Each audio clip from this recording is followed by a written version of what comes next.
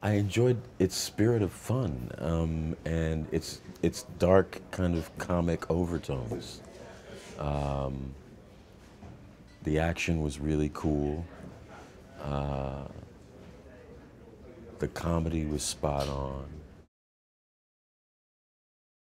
Well, I actually uh, got together with Keanu in the summer of uh, 2015 and was just telling him how much I enjoyed the first picture and how much I would love to come play with him if uh, the opportunity presented itself in the second movie. And then he said, okay. And, and they sent me the script, and immediately when I read it, I just thought, okay, this is going to be great.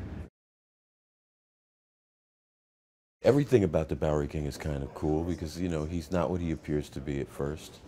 Um, neither are any of his people. Um, and his relationship to Wick is a long one. They have a history that's not particularly uh, good.